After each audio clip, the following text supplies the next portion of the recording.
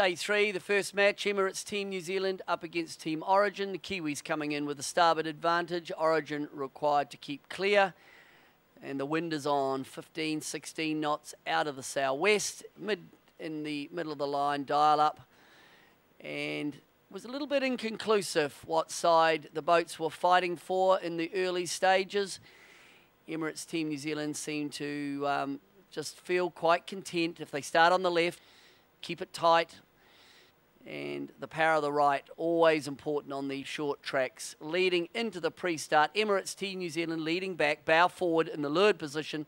Team Origin set up to windward, and they have the power of the right. Off the line, Origin tack away with the right-hand advantage. Emirates Team New Zealand come thin on their hip at the first cross.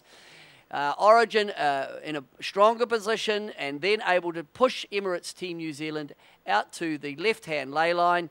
Origin slightly low of the lay line. The Kiwis on a perfect lay line to the top mark. Origin had to do two extra tacks at the top mark.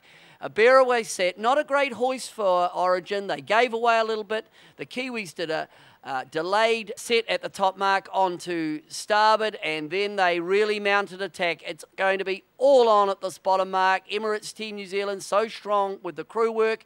Into the bottom mark gate, New Zealand set up for the left-hand marker, Origin for the right, but Origin have a huge calamity at the bottom mark, not able to make the turn. Emirates Team New Zealand's crew work has done it again. Origin had to retire from the race due to a whole bunch of problems on the foredeck.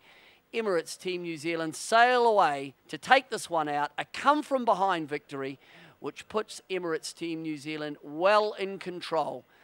Emirates Team New Zealand, again, will attribute this one to their immaculate boat handling. So the Kiwis go on to three wins. Uh, Team Origin, I'm sure, will look long and hard at one that got away.